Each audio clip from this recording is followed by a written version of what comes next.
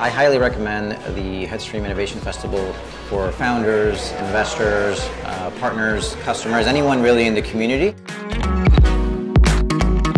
Had a wonderful time catching up with all the innovators for the first time, seeing them face to face.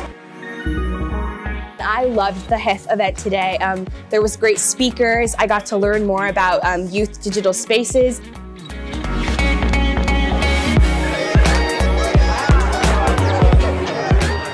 It's incredible. All the people that I've been meeting, all of the the panels, people willing to have these like big, open, amazing conversations.